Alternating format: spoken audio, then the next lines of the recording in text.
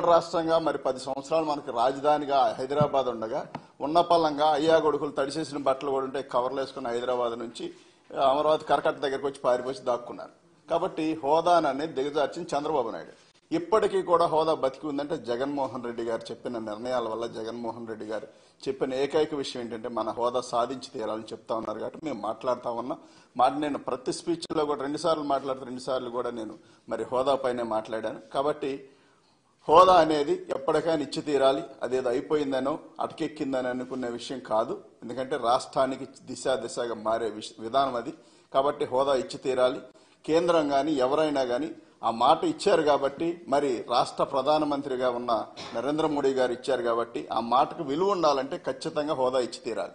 లేదు మాట ఇచ్చి అందరిలాగా మనం కూడా తప్పుకున్నామనే భావం కాకుండా ఖచ్చితంగా రాష్ట్రానికి హోదా ఇచ్చి ఆదుకోవాల్సిన బాధ్యత వాళ్ళందరిపైన ఉంది.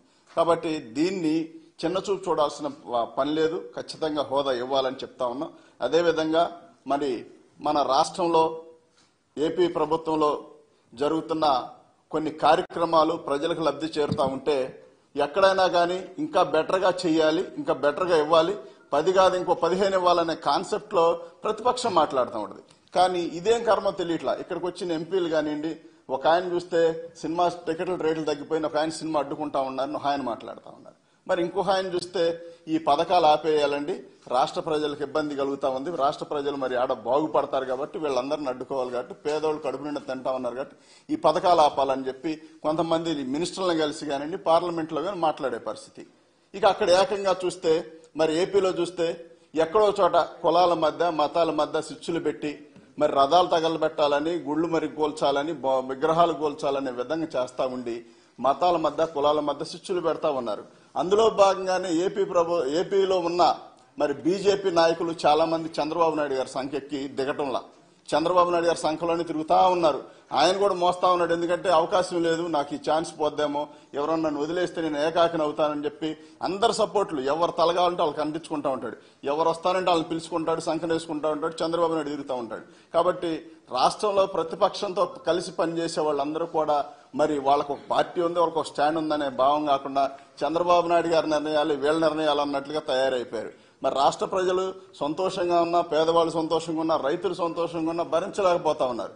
భరించలేని దానిలో ఈ మధ్య కాలంలో ఉద్యోగస్తులు మరి గత ప్రభుత్వం చాలా రోజులు సమ్మెలు జరిపిన సందర్భాలు అండి ఒకటి రెండు రోజుల్లో కూర్చోబెట్టి మాట్లాడి సరిచేసి వాళ్ళందరూ బాగుండాలి. ఇది మీ ప్రభుత్వాన్ని రాష్ట్ర ముఖ్యమంత్రి వర్యులు జగన్మోహన్ రెడ్డి గారు చెప్తా ఉంటే ప్రతిపక్షాలు కొంతమంది ఎల్లో మీడియా కలిసి ఏడుస్తూ ఉండి మొత్తం ఒక చోట రగ్గు ఏడుస్తూ ఏడుస్తా ఉన్నారు. ఎందుకంటే బయట చూస్తే బాగదని చెప్పి ఒకే రగ్గొప్పుకొని లోపల ఇదేంటి ఇట్లా జరిగింది? ఉద్యోగస్తులు మనకేదో మనం అనుకున్నది ఏదో చేస్తారనుకుంటే తీరా జగన్మోహన్ రెడ్డి గారు ఇచ్చిన అవకాశాలన్నీ కూడా అందిపుచ్చుకొని వీళ్ళు ఉద్యోగ మరి మరి సమ్మెను విరమించారు కాబట్టి దీన్ని దీని మీద కూడా కామెంట్ చేసి దిగజారి మాట్లాడుతూ ఉన్నారు. అంటే రాష్ట్రంలో ప్రజలు కానీ ఉద్యోగస్తులు కానీ రైతులు కానీ విద్యార్థులు కానీ ఎవరైనా సరే ఏడుస్తూ ఉండాలా?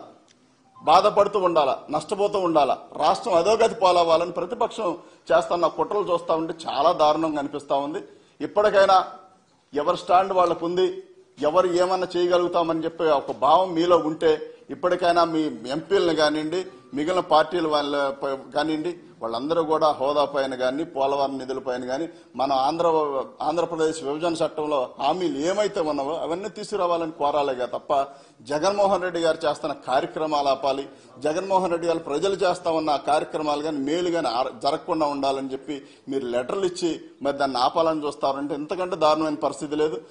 టీడీపీ అనేది ఆల్రెడీ చచ్చిపోయింది చచ్చిపోయిన దాన్ని ఆ లొకేషన్ పెట్టి చంద్రబాబు నాయుడు గారు లేకపోతే నాలుగు తలగాలు అంటించుకొని పవన్ కళ్యాణ్ లాంటి వ్యక్తులను బీజేపీ వాళ్ళు ఇంకా ఇంకా ఎవరు దొరికితే వాళ్ళు.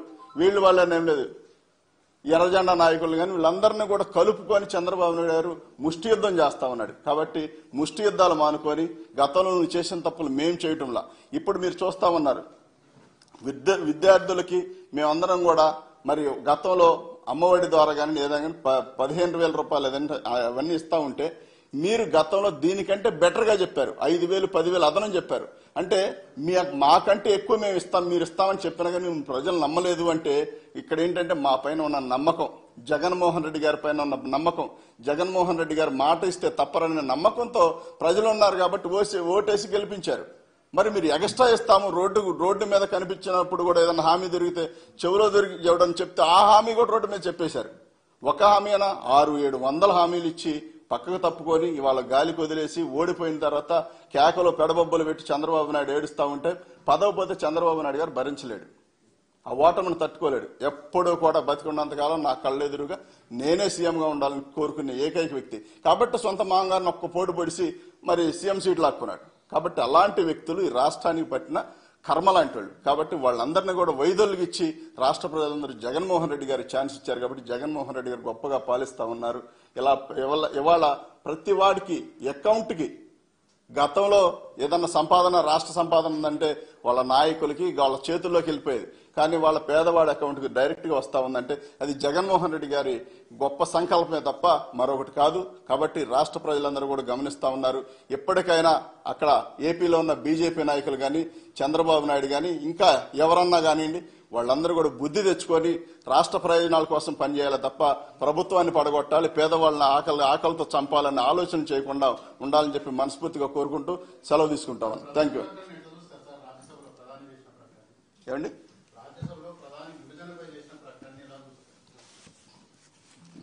ఇప్పుడు ప్రధాని ఖచ్చితంగా ఇప్పుడు కాంగ్రెస్ పార్టీ ఏ రకంగా ఒక అన్సైంటిఫిక్గా విడగొట్టిందనేది మేమే డైరెక్ట్గా పార్లమెంట్ సాక్షిగానే చెప్తాం. నేను చెప్పాను కృష్ణ కూడా చెప్పారు అందరూ కూడా చెప్తున్నాం విజయసాయి రెడ్డి గారు చెప్పారు మేము అందరం కూడా. ఇప్పుడు ఆ రకంగా అన్సైంటిఫిక్గా వాళ్ళు విభజించి ఏ రకమైన డిస్కషన్ లేకోకుండా మొత్తం పార్లమెంట్ తాళాలు తాళాలు వేసేసి తీసుకొచ్చి ఆ పెప్పర్ స్ప్రేలు తీసుకొచ్చి ఏ రకంగా చేసి ఈ రకంగా అడ్డగోలుగా చేశారు కాబట్టే కాంగ్రెస్ పార్టీకి అసలు రాష్ట్రంలో ఒక సీట్ కూడా లేకుండా పోయింది. అదే మేము బీజేపీని కూడా ఒకటే చెప్తున్నాము మీ అక్కడ ఏదైతే తప్పులు జరిగినాయో మీ దగ్గర నుంచి అది సరిదిద్దుకొని దాన్ని రాష్ట్రాన్ని ప్రగతి పదంలో పెట్టమనే మేము అడుగుతున్నాం. ఇప్పుడు ప్రధానమంత్రి గారు మేము ఏదైతే మేము చెప్పుకుంటూ వచ్చామో దాన్నే అక్కడ పార్లమెంట్ సాక్షిగా ఉద్ఘాటించారు. ఖచ్చితంగా ఈ యొక్క మా యొక్క ఒత్తిడిని కూడా తీసుకొచ్చి ఏ రకంగా రాష్ట్రానికి స్టేట్ రీఆర్గనైజేషన్ యాక్ట్ పొందుపరిచారో ఆ యొక్కటి పూర్తిగా ఇంప్లిమెంట్ చేసేదానికే మా యొక్క ప్రయత్నం కూడా భరత్ గారు ఇందాక మీరు రామకృష్ణరాజు గారి గురించి మాట్లాడారు రఘు రామకృష్ణరాజు అలా బాడీ షేమింగ్కి పాల్పడడం ఒక ఎంపీ అనేది కరెక్ట్ అనిపిస్తుందా అంటే ఇప్పుడు ఆయన మిమ్మల్ని అన్నారు అని చెప్పేసి మీరు ఓకే మీరు కెమెరాల సాక్షిగా ఇప్పుడు మాట్లాడారు. అంటే మీ నియోజకవర్గ ప్రజలు కావచ్చు ఎవరైనా ఆ మాటలను. ఇప్పుడు ఒకటండి. ఆహా బాడీ షేమింగ్ అంటే ఇప్పుడు తల్లిదండ్రులను తీసుకొచ్చి ఒక ఎంపీ సాటి ఎంపీని తీసుకొచ్చి ఒరే అంటే యాక్సెప్టెన్స్ ఉంటుందండి? ఆయనకి మీకు తేడా ఆహా తేడా ఉంది. అదే నేను చెప్తున్నాను. ఇప్పుడు నేను ఆయన కూడా నేను చెప్పేది ఏంటంటే ఆహా ఆయన కూడా నేను చెప్పేది ఏంటంటే ఆయన తెలుసుకుంటాడు. ఎందుకంటే పార్లమెంట్లో దగ్గర దగ్గరగా ఐదు వందల పైన లోక్సభలో కూర్చుంటారు. ఆయన వెనకాలే లేడీ ఎంపీస్ కూడా కూర్చుంటారు.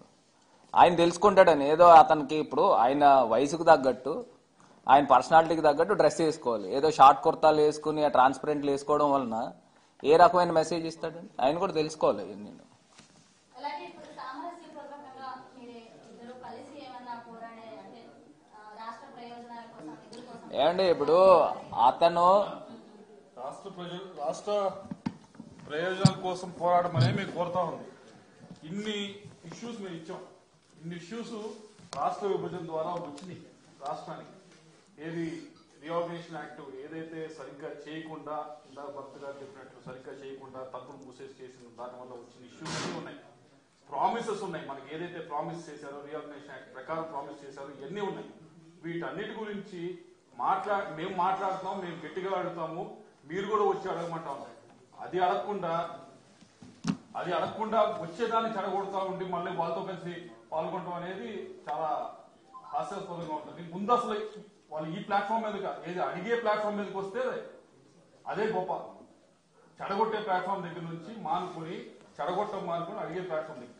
నిన్న అడగటం జరిగింది వైజాగ్ స్టీల్ ప్లాంట్ గురించి. కడప స్టీల్ ప్లాంట్ ఇస్తామని చెప్పి అది పక్కన పెట్టి వైజాగ్ స్టీల్ ప్లాంట్ పుడిమే కారణాలు తీసుకుని వెళ్ళి దాన్ని ప్రైవేటైజ్ చేస్తామని. ఇవన్నీ చాలా ఇష్యూస్ ఉన్నాయి కదా వాటి గురించి మాట్లాడకుండా ఎందుకు ఇవన్నీ? చెడగొట్టే అండి ముందు దాని తర్వాత మిగతా మిగతా పోరాటం పోరాటం చేయమని చెప్పండి దాని ద్వారా.